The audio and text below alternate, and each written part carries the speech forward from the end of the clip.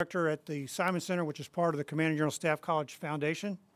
And on behalf of our partner in this, the Command and General Staff School, Colonel Robert Alt, Mr. Marv Nichols, welcome you to this Interagency Brown Bag lecture series that is designed to enhance your interagency education here at the Command and General Staff School.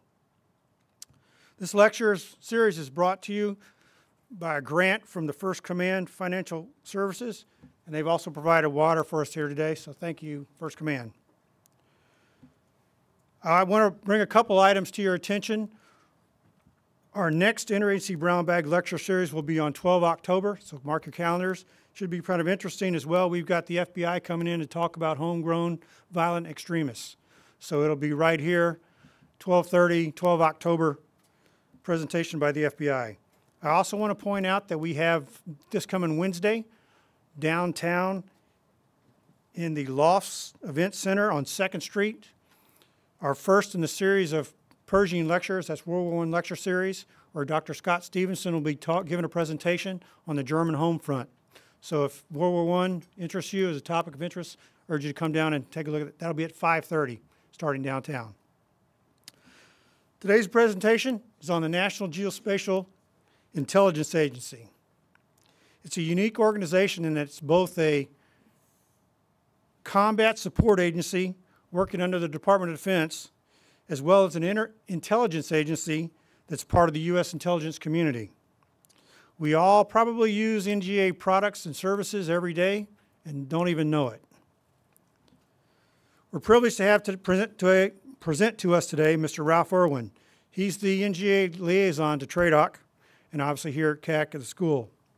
Mr. Erwin is a senior geospatial intelligence officer who holds the designation from the Director of National Intelligence as an intelligence community officer.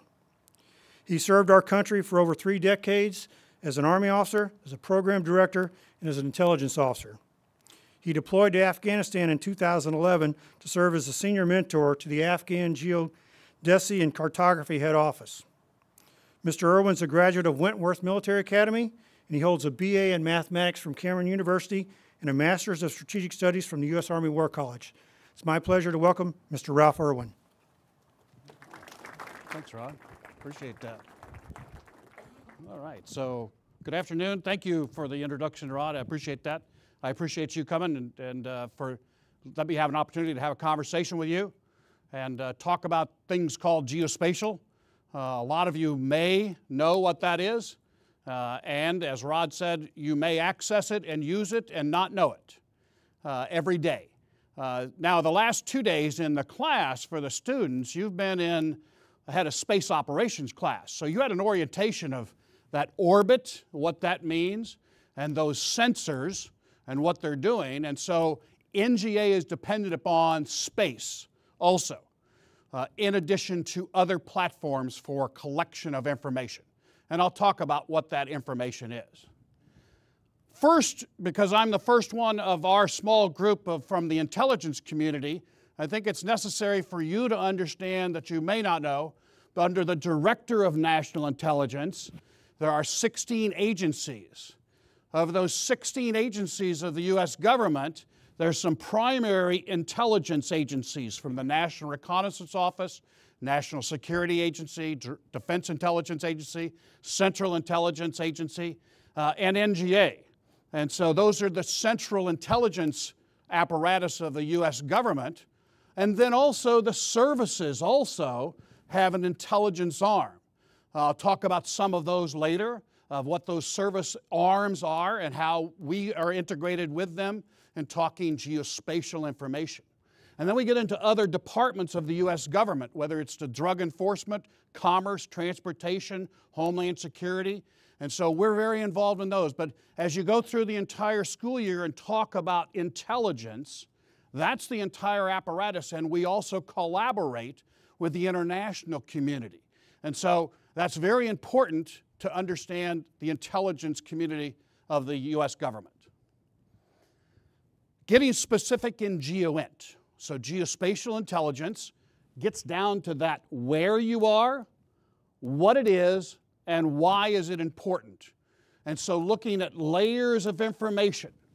And so we take layers, we consider different layers of information as we start to build a story or a product and provide you information necessary to make the right decisions. I'll talk about some of those layers as we go through. One of the pieces is we do build maps. This is not an NGA map. This is from the Roanoke Times, and it's pretty recent. Do you see any problems with that map?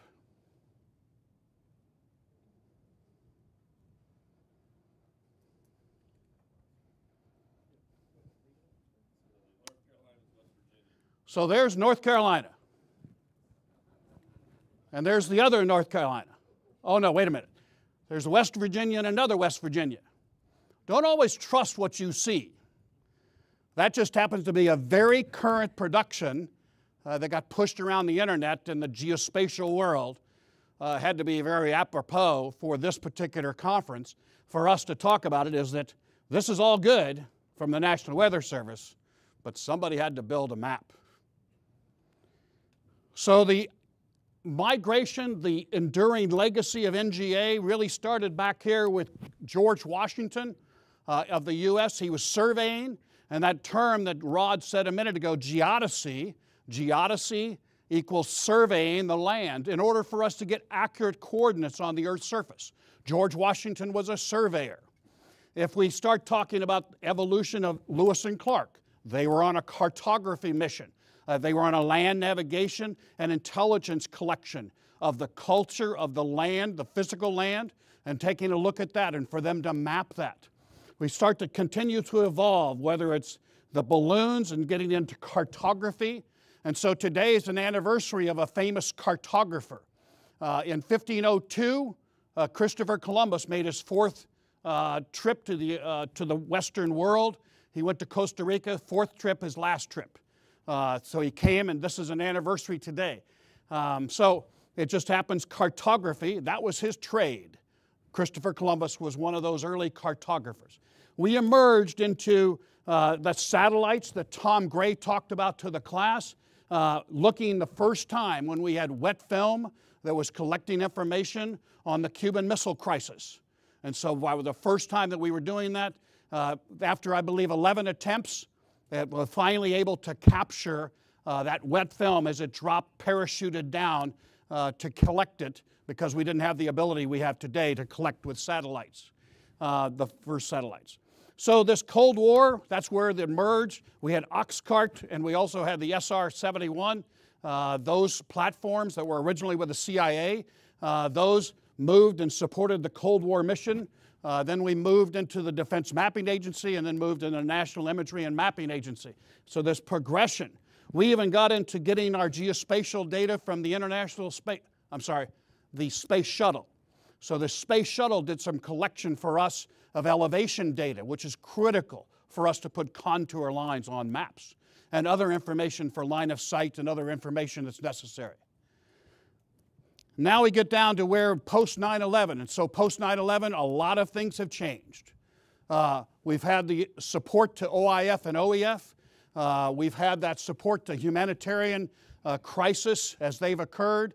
And we've even emerged into things like the Ebola crisis. Uh, we did some things. This is an Afghan country atlas. So we built atlases for Afghanistan.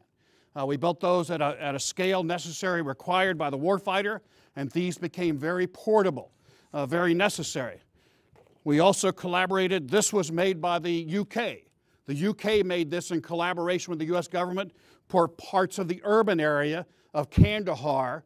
Uh, that was part of a collaboration and a co production. So we did that. We also did, built these for Haiti. So these are Haiti atlases. And so we, I, we built these and we provide those as part of the humanitarian assistance and disaster relief uh, support. And so that's part of our mission, and we continue that mission uh, along that timeline. And as you see here, I'll talk a little bit more about the modeling we did and support we did in specifically for uh, the raid on the bin Laden compound. This is a screen capture from NGA's public internet page just nga.mil. And at nga.mil, we get into our current hurricane support. We're supporting the Department of Homeland Security. in providing them geospatial information necessary for the U.S. government for U.S. national interest. And the same as our Arctic uh, support is in collaboration with the National Science Foundation. And so we have that direct support. So you can go on the public internet page and take a look at that and understand what our support is and the role is uh, for us and the criticality of the Arctic uh, in particular to the U.S. government. So the director likes to talk about what got us here. This talks about that Cuban Missile Crisis and looking at missile silos in Russia, uh, the early transition. There's capturing that first Corona uh, wet film imagery and migration to commercial imagery platforms, Worldview. We're using commercial imagery more than you would ever believe. Uh, this kind of migrates to the Chernobyl and Chernobyl explosion for our ability to capture that. And then getting down to this world right here. And that world, those are the current satellites. There's a company called Planet Labs or planet.com, and you can go and see what their 190 uh, Dove satellites that are flying around the Earth right now in, a, in an orbit. And so those single satellites, these are the satellites on the shelf as they were flying. So the students know, Tom mentioned 104 of those shot from an Indian rocket uh, just recently. They launched into space, and now they're in collection of imagery around the world. So what got us here uh, will not get us to the next step. And so we have to look at the world a little bit differently, and we have to do the integration of that social media and media information. We have to integrate the commercial industry. We have to integrate international partners. So I mentioned the UK and helping us doing the One Development, uh, other governments, other think tanks, the academics. So NGA is very involved with some of the academia that's around the Beltway, but then also University of Missouri is one of the major contributors to NGA and our collaboration with academia. Uh, I'm going to play a short video. Uh, this short video is the statement for the record to the, to the House Armed Services Committee, Subcommittee on Strategic Forces, for the FY18 priorities and posture of the National Security Space Enterprise. And this is Robert Cardillo, who's the director of NGA. Chance?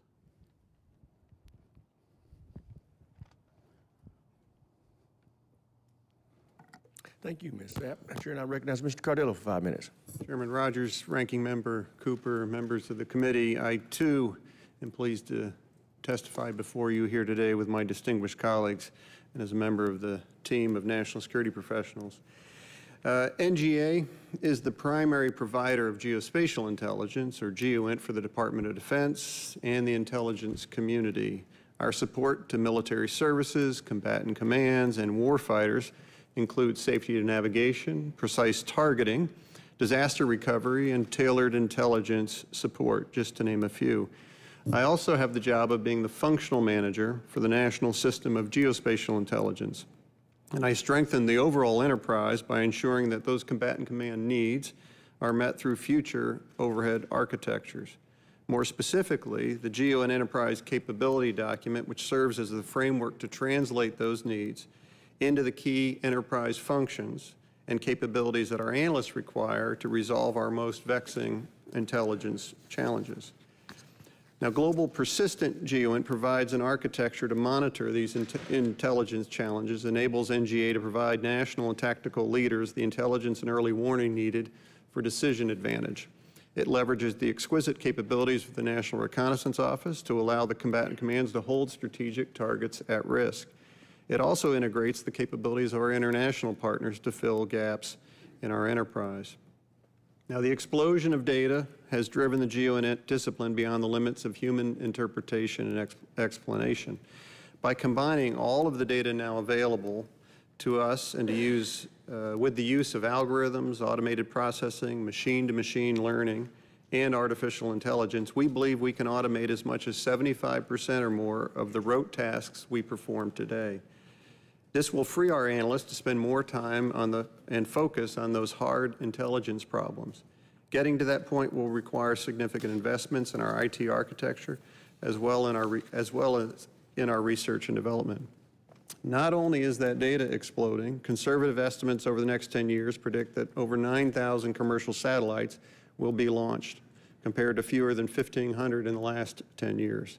Accordingly, NRO will partner, or NGA will partner with the NRO to engage with and access this, the most mature of these new space via the commercial GEOINT activity. Through it, we will identify and evaluate emerging commercial GEOINT data and services against those needs uh, that we capture and maintain. In closing, the National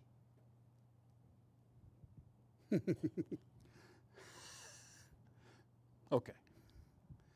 Uh, so he made a he had a statistic there uh, that's countering or it complements what Tom Gray talked about at the space operations. You remember what that was on the quantity of satellites? 9,000. So Tom's talking today, we're talking approximately 2,000 and 9,000 within the next decade. That starts to get into the collection of big data. And so big data is a significant, uh, how do we exploit that? He talked about the ability for uh, artificial intelligence and other means to exploit that data. And so that's a whole new paradigm, especially for the military, um, on how to exploit that. Part of the way that we, NGA, as a national agency, support that is putting people out front. And so, in support of COCOMs, in support of the agencies and departments within the U.S. government, in support of the services, and we get into the services, we get into the intelligence centers. So, the National Air and Space Intelligence Center at Wright Pat, the National Ground Intelligence Center at Charlottesville, um, the Office of Naval Intelligence, and the Marine Corps Intelligence Activity. We are embedded in those. I am lucky enough to be a member of this Army uh, service team and providing support to the Title X function of the Army as you do the preparation uh, for your missions. And we also have international teams, so those international teams are embedded in those locations to support those other international partners. And so it becomes very important for us to be forward instead of sitting back in Washington, D.C. or St. Louis at our two major headquarters. So, those people that are going forward, those people have different trade crafts or specialists, and they're a combination of all the things of maritime or aeronautical or cartographers or even orbital scientists. And so, those are smart folks that those 14,500 people uh, that the government, the U.S. government, is depending upon those people every day uh, to provide that support.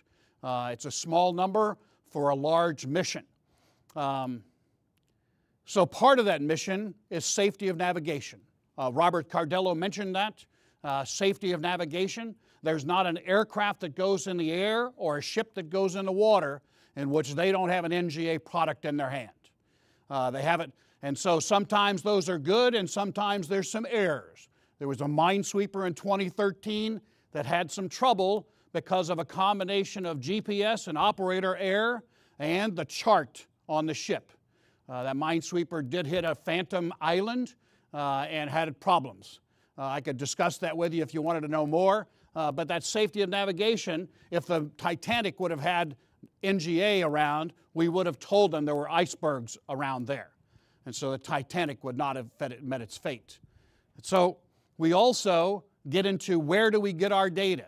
So we from space, space is a primary collection platform, but we also use manned and unmanned uh, platforms to the collection, uh, collecting the information we need. And so with this information that I've been referring to, this is kind of what I call the money slide this describes what are we doing with this information. And so when we talk about this information, panchromatic, infrared, multispectral, hyperspectral, that information is the information we need that it's visible in the electromagnetic spectrum, visible uh, data. We're able to take that information and make it into something. And so that information that we're doing, what do you do with it? There it is we're making it into what every soldier's had in their hand before a 1 to 50,000 map sheet. So, a 1 to 50,000 map sheet, you've all had that. It came from NGA or one of our predecessor organizations. Um, and so, every soldier has depended upon that, as well as things like an evasion chart. So aviators know what an evasion chart is. They have these, and these can be used as a, a poncho. Uh, they also do a blood chit. Every soldier's had those. You're very familiar with these. They, can, they have a lot of information on them. And so NGA produces every one of those that's tailored to the specific geographic region. And so this product that we're generating, this map, is based upon elevation data, so we can get contour lines on the product, uh, and also imagery, and imagery that we put into command and control systems. And so imagery, when you take your Google Maps and you hit the word satellite, you're getting true imagery. That's imagery purchased, not Google doesn't fly it, Google buys it. They buy it from a commercial imagery sensor uh, company. And so they're buying that, and they're buying it from one of those 2,000 satellites that uh, Tom talked about. It could be the French or the Germans or the Italians or the Americans or Canadians, multiple people that are flying those satellites, company, uh, countries. On the sea is that notice to mariners, NOTAMs. NOTAMs have been around for many years, and so we provide that data all the time. Uh, safety of navigation for air and sea again, we get into vertical obstruction database. NGA provides, aviators like to know where vertical obstructions are. They like to know where cell phone towers are. And so it's our responsibility to map those, put those on the Earth's surface so that they can access that information, uh, so that aviators don't hit cell phone towers. That's pretty important to them. Science. NGA manages the mathematical model for the GPS satellites. So it tells the GPS satellites where they're at.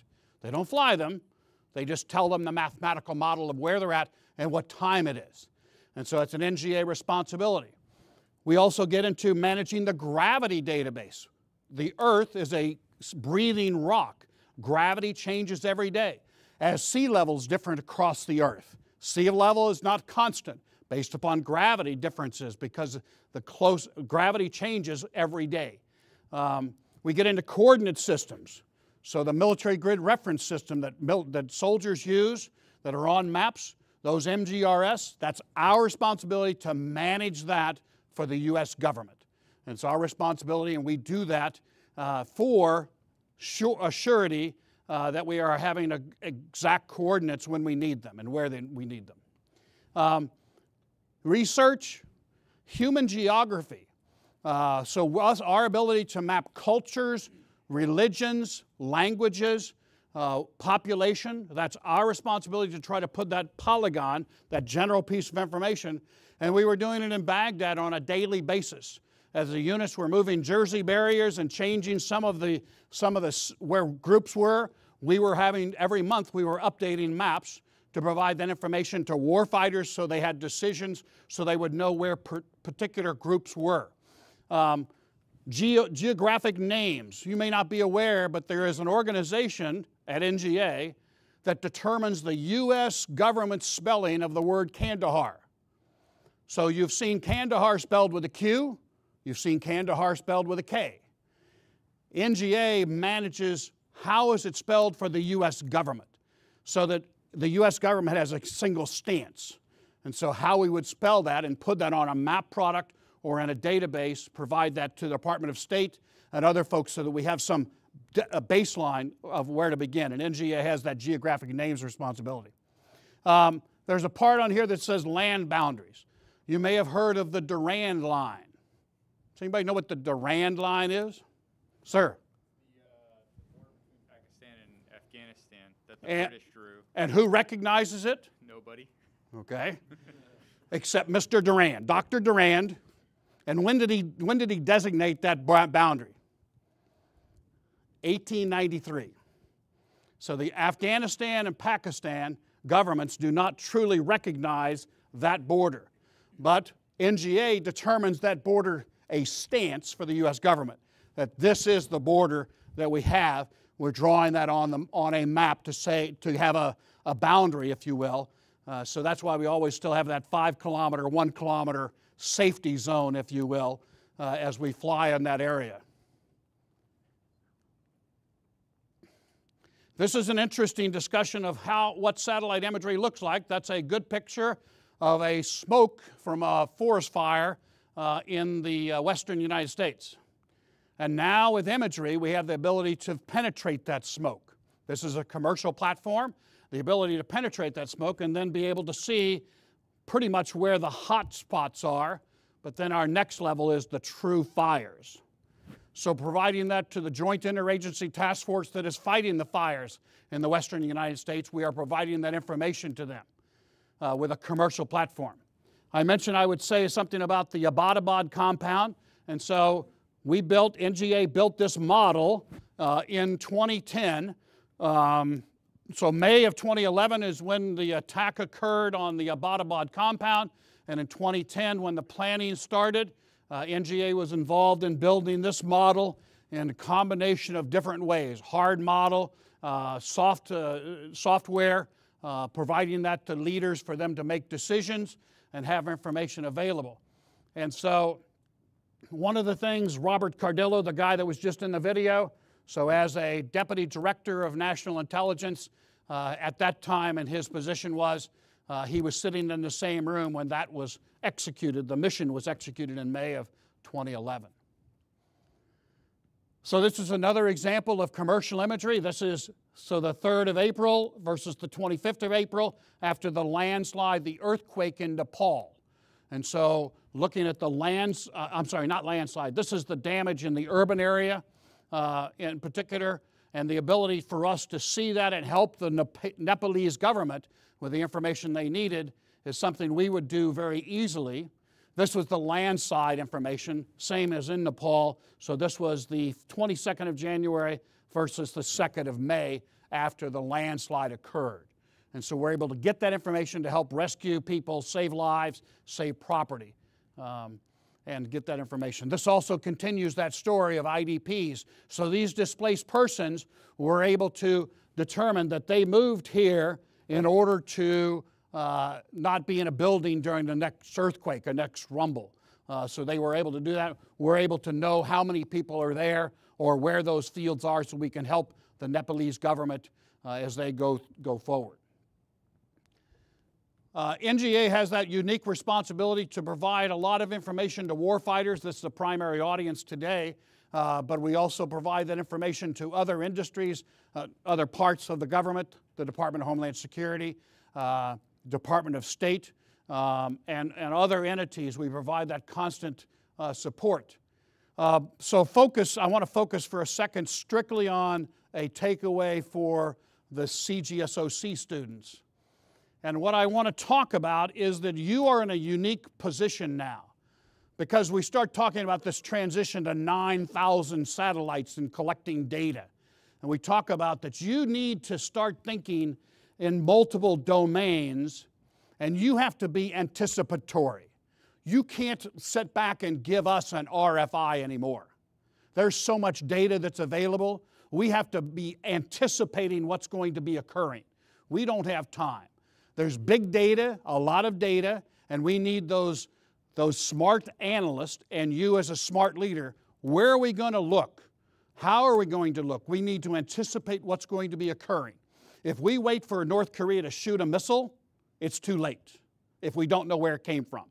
We have to know exactly where it's coming from all the time. And we have to anticipate that. And you, as a young military leader, need to grasp that idea, that concept, and go outside your comfort zone. As an intel officer in particular, don't ask me for an RFI. Instead, anticipate where am I going to go next? Where is the enemy going to be? Where is the fault going to be? Uh, so uh, you need to ask those questions and think ahead of time. With that said, I said I appreciate the opportunity to talk to you and look forward to any conversations or questions you might have. Yes, sir.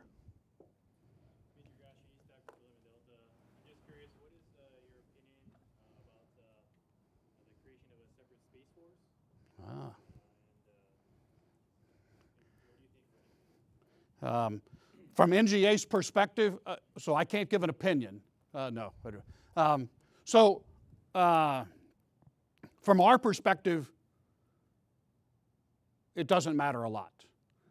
Uh, we're the ones that are going to be, we're the ones that are providing the tasking for the collection. Um, we're the ones that just you, the combatant commanders the, uh, come to us and tell us what their particular missions are, or anticipating what the hotspot is. And then they give that to us. We turn around and task the National Reconnaissance Office, whether it's the Space Command, a, a, a Space Com, uh, again, or uh, National Reconnaissance Office, they're going to collect what we tell them we need. Whether we're going to build a new 1 to 50,000 map sheet, or we're going to find an intel target, one or the other. If we need higher resolution targeting data, then we ask for that for a particular area. And so we're doing the tasking, they're doing the collecting. So I don't think it has a lot of impact.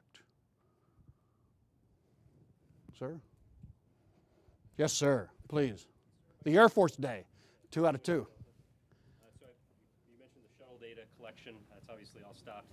Uh, What's the NGA plan going forward to improve DTED, both Oh. coverage and resolution? Great, great information.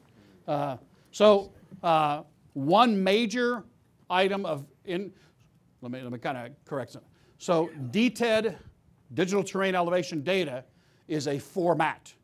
We could just as well call it a dot .doc, a dot .doc. It's a format.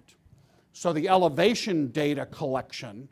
Um, so we have uh, now we're in a complete collaboration with the European Space Agency and the German government. The Germans have the highest resolution product. It's called Tandem or TerraSAR. Is that right, Gary? Uh, and I'm checking with my expert here. Just came out of EUCOM. So, um, so Tandem is collecting higher resolution. What we got from the space shuttle in February 2000 was we knew every 30 meters, we knew an elevation reading. With the new Tandem, we have global at 12 meters. So that increases the quality of a line of sight or quality of a contour line on a map. Uh, so that's the first major leap, going from 30 meters to 12 meters globally. Um, and then higher resolution capabilities and places of interest. So, good question, though, yeah. Elevation data is critical. Please. So, you're going to change from the Air Force to the Navy? That's good. Please. Good. So uh, modernizing is always always a challenge to keeping up the speed of technology. Uh, Can you talk a little more to the current, uh, I guess, partnerships that you got? You mentioned Google, uh, Google Earth, current thing going on right now that uh, you can't talk about, as well as look to the future too as well. What's that, that gonna look like, uh, uh, with those partnerships, private, private, public, international too? Okay. Um, so Google Earth, a tool, and so it again comes back to the data. So the tool being separate from the data. Um, so as an intel officer, your big concern is, of course, having the right data and being having the right tool to exploit the data. Uh, I think that one of our major challenges uh, is we all, uh, as everybody in this room, can open up their cell phone and have a map. We can all have a map instantly. Um, part of the question becomes how detail, how high resolution we want that data to be. If we're going to target something, um, and I don't want collateral damage for a hospital or an orphanage next door, um, then we have to have the ability with our coalition. So, of course, you know we have our major Five Eyes, our five English speaking countries, in which you, we do a day to day collaboration. But then we have another set of, of five or six, uh, eight other countries that we do a day to day collaboration with also. Uh, so that international partnership uh, is critical. Um, and so for us to get high resolution information for the intelligence community, for targeting in particular, uh, so uh, we're looking at that. Now, our day to day, if you if you went today for a new 1 to 50,000 map sheet that we make, it's built on co-production. And so our co-production process is a day-to-day operation also on just regular transportation, hydrology, uh, vegetation information. We're doing that co-production every sing- single day. Uh, I want to come to the commercial piece, commercial imagery collection. We are doing that collaboration constantly. Uh, so um, on my cell phone, as we speak, I'm able to, we're being imaged right now by a Russian satellite. A commercial Russian satellite is now imaging us. That's that red line right there. And so I can do that on a vendor. It's, it's, this, is, this is available for me to purchase. I could purchase that imagery right now. Anybody can purchase that imagery. Uh, and so it's a whole new world. How we have the ability in, in our coalition to turn that into a product to re- respond to it. So a smart intel officer has to have the ability to anticipate what am I going to need? Why do I need it? Where is the target at? Where's the target going to be? A combination of space based platform, airborne platforms, manned and unmanned platforms uh, to go get the best information I need. So it's a, it's, it's a, it's a continuous collaboration. Uh, I did want to, one other thing on the tool. Uh, the director, Robert Cardillo, mentioned uh, algorithms, machine to machine language, artificial intelligence. That's what we have to have. We're spending a lot of money. As long as our research and development money still allows us to do that development, we're going to use something called activity based intelligence. And it's just what it says intelligence based upon the activity. And analyzing that, a machine to analyze that for us to help us as humans look here and not there. Instead of looking at the shiny object, we look at the density of data, using big data as our driver. Good question, sir. Chris. I'd like to add to that. I think is also pretty um, aggressive with the with the public-private partnerships. We have um, permanent seats in you know uh, Silicon Valley, also in the tech boom, uh, small business uh, tech in uh, St. Louis. But that's something that we're always trying to get after, uh, and want to make sure that we're ahead. And I think uh, same thing with the, our, our other Intel partners, DIA. DIA just a couple weeks ago, he um, they had a um, convention in St. Louis. And he was talking about DIA. I mean, they're in, in his point of view, they're also irrelevant. They're, they're resting a lot of, on their laurels because their inability to think ahead. And uh, NGA, if you were to look at where the director talks and what he says in, um, in uh, these Senate hearings, he's his big thing as the director is living in the open, and that's a very big change for how intel agencies typically run, which we typically live in that that secret world and we're not out in the public.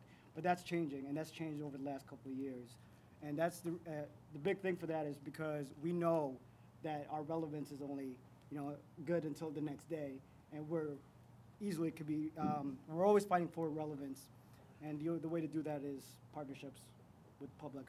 Thanks, Chris. Ma'am. have a question to expand on what you just said. So are, does NGA now offer unclassed intelligence products based off of that um, relationship with the um, commercial industries? Absolutely. So, so And then, gonna interrupt. can, to expound upon that, um, I was surprised how, how many people are unaware on how to utilize um, the extensive resources they have, especially even in my own field in Intel. I've come across Intel offic- officers all the time, have a cool product show to them, like, oh, that's, how do you even find that? So do you have anything you could pass out to the group or just a brief where they can go to utilize such a valuable resource? Yes.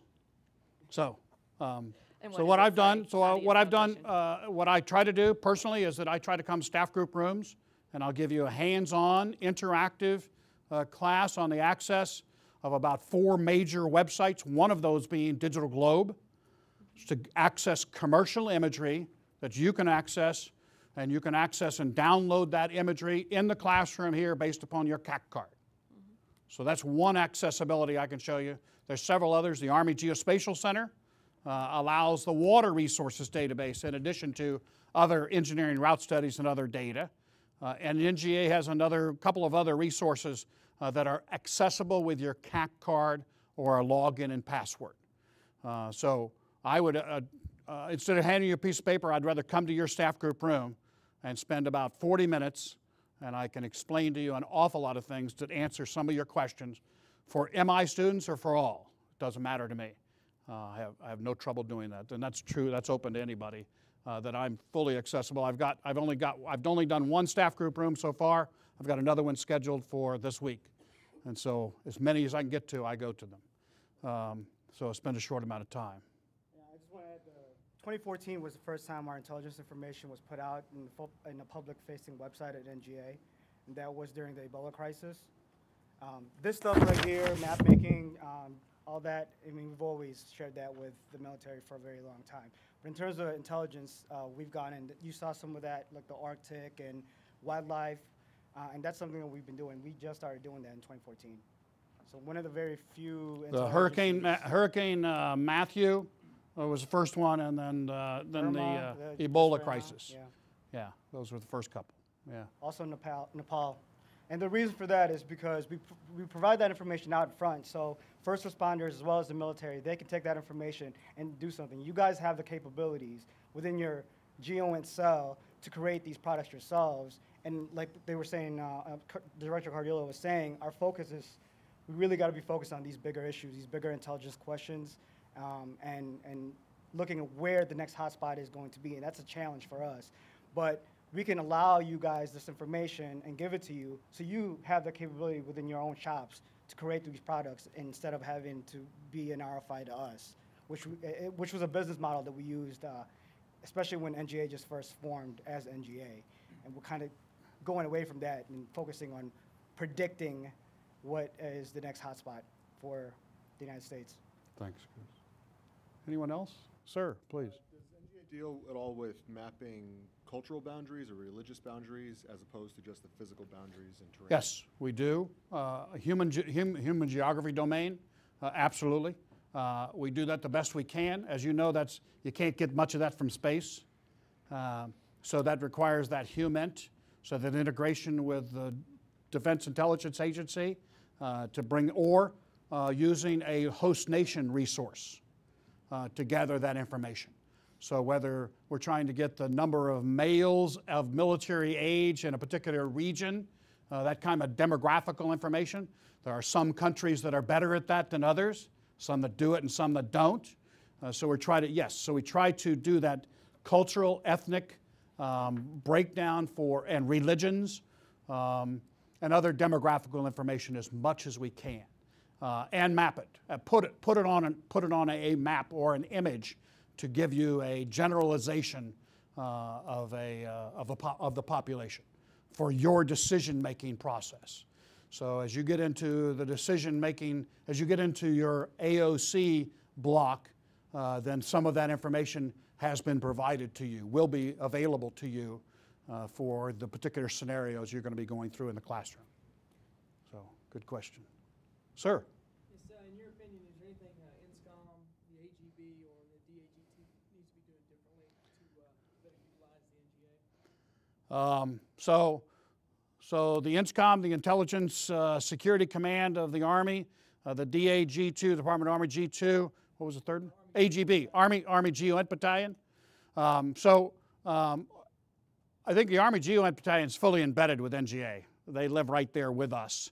Uh, so that's an MI05 command uh, that lives right there with NGA, the Army GEOINT Battalion. Um, and uh, so that continues as subordinate command to the National Ground Intelligence Center under INSCOM, uh, under the DAG2. And so within the Army, I think I would go back to the one slide here that I, what I try to say the so what for you is you, there's a mindset change requirement. And I think that if we talk, if you want to talk specifically about the intelligence and the engineers, geospatial engineers and geospa- and MI officers, and so those two as leaders need to drive that you need to use anticipate. Anticipatory analysis is not something that you can learn by reading a book. It's a class, it's a how to think, analysis of how to think, um, and a new way of doing business uh, based upon big data. We've got a lot more data now. How do, what do we do with it? If I'm not going to be RFI driven, then I've got to be driven by this big data. Um, you take the National Security Agency with all of its uh, collection of communications. That's big data. They have to exploit that quicker to anticipate what's occurring. And so, keywords, uh, trying to describe where am I going to be attacked next, uh, anticipating that and thwarting that particular uh, uh, operation. So, I believe that's what I would say uh, that the intelligence community of the Army, uh, if that's a word, but needs to start thinking how do we think ahead? That's a very difficult process to do. It's a paradigm shift. Good question. Sir? Captain Frank Kraut, Staff Group 2 Bravo. So talk to me a little bit more about then the collection on the ground. As a future staff officer and commander, can I expect to be conducting operations that will directly contribute to NGA products? Yes, sir. I would hope so. I would, I would absolutely hope that you are. I would, now the Army had the human terrain teams. Remember the human terrain teams? Uh, there were some successes and failures of that. Part of the failure, part of the successes with that is that you had teams that supported brigade commanders as they were fighting the fight. And so that was a, that was a near, that was a real time support. The hard part was the data they collected was in flat files. It's in a PDF or a Word document. I can't put that into a database. I need, I need it, I need it into, I need someone with a handheld GPS going church, water well, uh, hospital, um, cholera outbreak, and putting a, an X and a Y with it, and then taking that into a database, bringing it up. And so, yes, I would say that every soldier is a sensor, and so that still continues. And I think uh, uh, that there's a paradigm shift with that, is that why not? Why wouldn't we have every soldier providing a unit, providing data up um, right now? So, Chris? We're, we're fielding that now. We have known. Uh, that's something that we're doing with certain uh, units that are already boots on the ground. And basically, what it is is, is uh, use the microphone like this. Basically, what that is is it's a it's, it's immediate update on what's going on on the ground. It says that he, these are the type people that type of people that live in this uh, neighborhood or village, or this bridge has been blown out, and here's a, a, a immediate update, and everybody gets that. Whoever's using GNOME. So that's that's one uh, uh, one example of how it's being fielded currently. But that is uh, a future capability that NGA has as part of its strategy. How we, can we get the information that we have and to the soldiers uh, instantaneously? Good point. And that's being done through like smartphones. Sir? Yes, sir. Um, as we attempt to grapple with the new advanced capabilities that Russia's bringing to the table, particularly in the electronic warfare and cyber realms, what are the implications of the future of our adversaries being able to manipulate this data to, to spoof it, to, to interrupt our decision-making process from the tactical level all the way up to the strategic? I believe it's, it's very obvious, yes. Is it the ability, their capability? Absolutely, and for us to find a counter to that. So countermeasures uh, for their ability. I think that uh, there's a combination of, uh, of us having, securing our data. Uh, Sometimes we need to print information uh, is better than us having it on a digital platform. Uh, And so we're printing on demand. And so your ability to take what data we can collect and collect and collect uh, for us to have our data centers secure.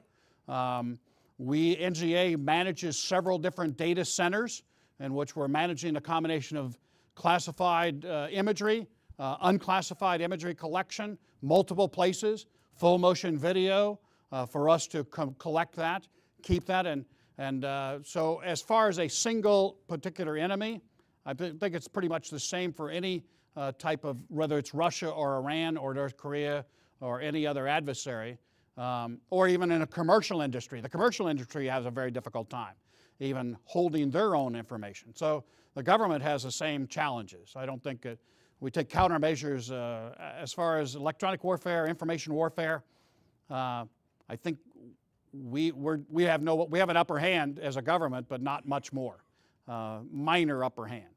Um, I think we're going to, would be a very difficult process. Great question, though. Great thought. Sir, back to the Air Force. NJ does a lot of work with terrain models and with elevation models. Does, does NJ work any at all with like subsea floor or subterranean models? Um, so the answer is yes. It's called the bathymetric data. Oh, the coast, coastie left.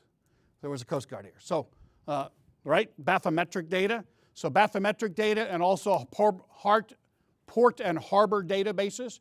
And so those are our responsibilities uh, to provide that charts, uh, that chart information. Uh, absolutely. Digital nautical chart is our primary product uh, that we produce on a daily basis. In addition to something that Transcom, we're in collaboration with Transcom in the development of what's called geoports. We do geoports for APODs and SPODs, so those air ports, air uh, points of demarcation and surface demarc- points of demarcation. And so those APODs, SPODs, we do those. We build those diagrams on a constant basis, uh, provide those to the services through Transcom. So NGA is embedded with them. Uh, but the bathymetric data is our key uh, maritime product that we provide. Um, so mapping the bottom of the ocean is a pretty tough thing to do. Uh, and uh, so we're providing that in collaboration with the Navy. Uh, so that's, that's our, uh, and our expertise is on the East Coast to do that, uh, always has been, um, in, colla- in collaboration with the Navy. Yeah. Thank you, sir. Yes, ma'am. Yes, you are. thinking about archive purposes, how do I get my hands on paper copies of those maps? Because say twenty years from now, somebody comes in wanting to do, wanting these maps from this time frame. How do I, how do I get those? Um, so, I guess several different things. One is that I have a catalog. So there's a digital catalog that I have available. Um, no, actually, we don't. Um, once we make a map, it becomes a logistics item. It has a national stock number, the same as a tire or a carburetor. And so we put a national stock number on there, and so the logistics systems manages the palettes of these paper maps. And if we build a new series, a new edition, uh, then it will supersede that other one. That other one goes away. Uh, and so, so the answer is for the library purposes, you can absolutely get them. You can order them. Uh, you'll have to get a bigger building. Uh, paper maps take up a lot of room. Like down there Afghanistan Yes. and picked up something else, Yeah, Haiti. that might be something good to, to keep for research purposes. Haiti.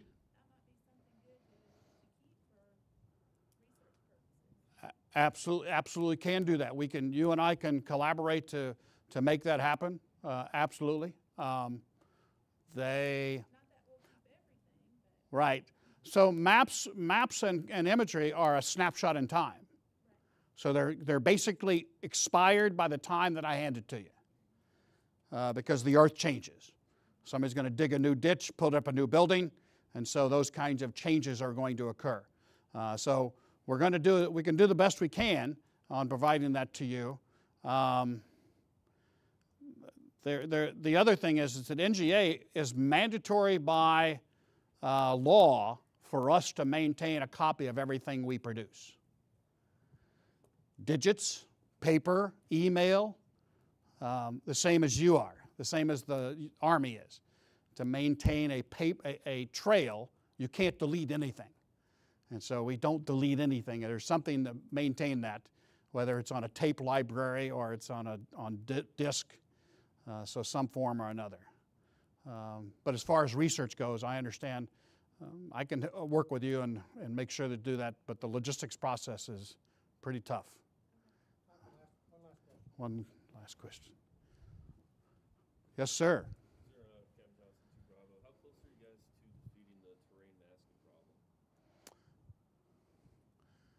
Well, um, please uh, tell me more. So, I don't know, I don't know how much I can speak to it outside of the, the skip. Sure. area, But, uh, there are problem sets, uh, you know, throughout the national strategy spectrum that, uh, we want to know when things are imminent. Uh, however, uh, due to the enemy knowing when we're looking, this Mhm. phone, uh, we, you know, it's classified as terrain masking, and I don't know what the agency is doing to overcome that challenge. Um, I, I, I believe, so the several ways that I would try to approach this. One is that on a case by case basis, is that if that, if that basically comes to us uh, through a COCOM J2, that that COCOM J2 for us to look at a particular area for a particular, um, call it a, a tunnel, an entrance to a tunnel. Um, as an example, is that, uh, so you tell me where you want me to look, uh, or I will give you the data so that you can exploit that and find the, what you're looking for. Uh, I will give that to you. Um, and, um, uh, and how to avoid, uh, provide that information to you based upon bare earth or reflective earth. So we have some challenges there uh, based upon vegetation or no vegetation. Uh, and so those are some challenges. Uh, but I think that we, we respond to the COCOM first. That, that Geographic Combatant Commander is the one that, so to speak, owns the terrain. We're going to respond to their requirement. Um, so, um, as a general rule, I think that we're, we're doing pretty good uh, on finding the targets that are necessary or being requested.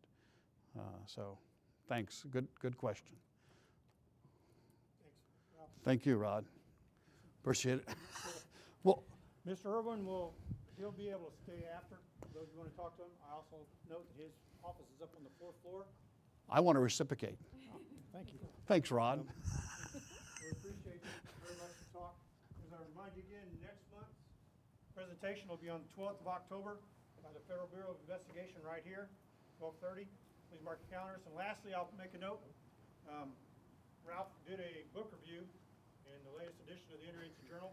If you're not familiar with our magazine that we put out, um, you can pick up a copy down by the barber shop, out on the racks are down there, down the first floor. And it's all about interagency subjects and topics. Yes, sir. Sixty Bravo, sorry, of the group, Mr. Erwin actually came into our group to give that forty-five minute, uh, lecture on the resources available. That allowed us to do our strategic estimate of GAT in like two seconds. So I, I highly recommend if you guys are able to do that, please have them go into your classroom. So prep for your next assignment. But what that does, though, I will leverage this, you have on your faculty here, not only the people that you see routinely on your teams, which have great expertise, there is similar outstanding in the interagency community. Folks are sitting around here in the room, if you haven't met